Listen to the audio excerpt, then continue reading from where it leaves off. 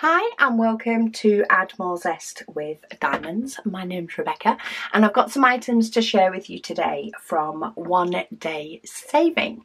Uh, so I have a diamond painting, a special diamond painting and then an off the canvas as I like to call it item. So let's start with the diamond painting. Uh, I've seen recently quite a lot of sort of stained glass type diamond paintings um, and they, they don't half catch my eye. They really, really do.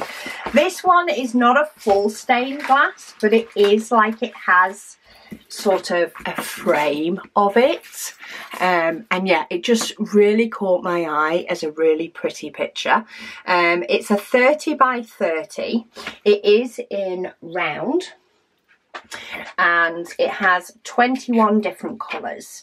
Now the diamond painting area itself is 25 by 25 centimetres so a little bit smaller but the colours are gorgeous so you do get a toolkit um, and I don't know whether it's the fact that it was surrounded by what looks like glass that caught me because those stained glass ones are catching my eye all the time. Um, and they do have a good selection of those too. Um, but we've got some really pretty colours in this one. We do have some darker 310, but look, we've got some gorgeous bright colours to mix in with those darker ones. Um, though most of the dark ones sort of make up the outside rather than the inside picture. I mean, look at those blues. Beautiful, beautiful colours. Um, so that is the first one. Trying to see if I can actually get it to fold back up the way it was. Uh, I find if I take a step back and let it sort of hang, I can often get hold of it in the right way to pop them back after having a nosy. Not always though. Uh, so that is the diamond painting that I chose. I then chose a special diamond painting. So this is a partial, um, but again, it's just absolutely beautiful. It's another 30 by 30 and if I just go from the outside edges of the image because it is a partial and it fills it pretty well. Uh, again, it is 25 by 25, uh, but such a pretty little teacup. Uh, you basically, you put diamonds around the flowers and the leaves coming out of the teapot but then we also do the deck sorry not teapot teacup uh, then we also decorate the flowers on the teacup and saucer and do the edging around the teacup and saucer there is a few different styles of diamonds you do get a toolkit so the styles for this one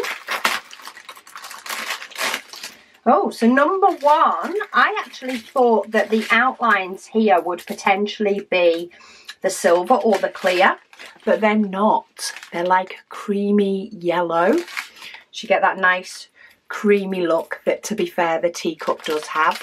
Uh, then we have your standard rhinestones. We have red, beautiful greens, yellow, pink, then we have your bigger ones in purple. They actually make up the petals on these flowers up the top. Uh, then we have number eight, which is B. Okay, so these big gold ones do the centres of some of these flowers. So they're the big centres. Then we have some in green, which again make up the rest of sort of the buds.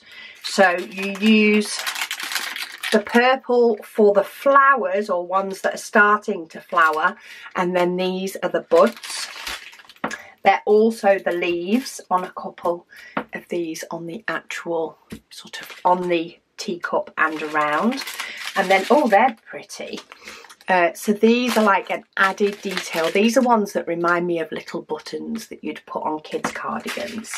Um, they appear all the way around the inside of the handle also the bottom of the cup and then they are spread about it's the letter D uh, on a few of the different flowers a little just a little extra touch um, but no that is a very pretty very very pretty like iridescent star coated diamond so they're a good fun diamond painting that can be completed quite a bit quicker than these but still give you a really nice impact.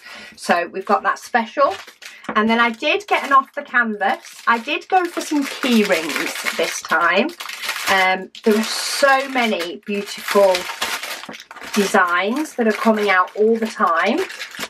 Even though we have seen key rings before.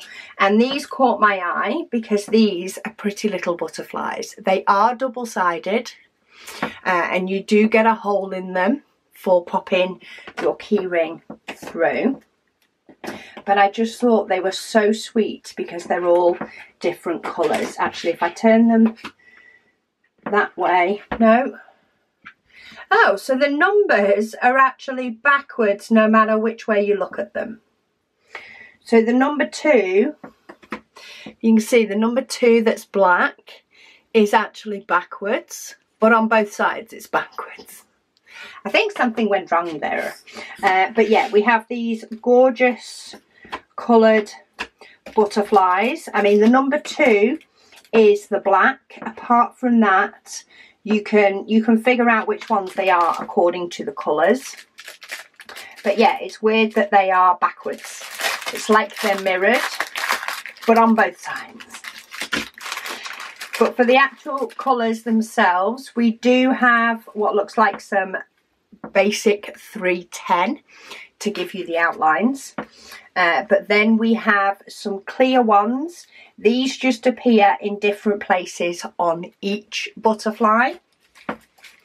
But then we have the green.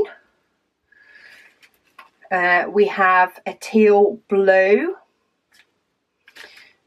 we have another type of blue or two types of blue. Now the only thing is it doesn't actually tell me what numbers these are.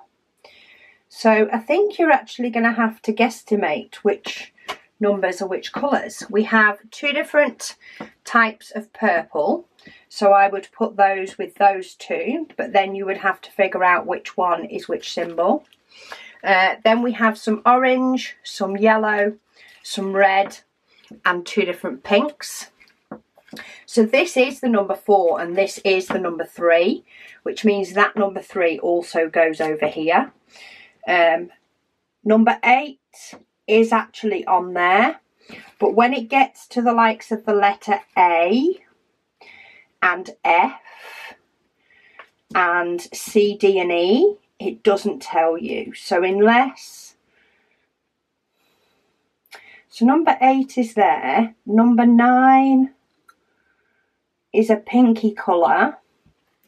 And I'm not seeing a number nine. So maybe nine is the letter A, which would suit, it would fit on that butterfly.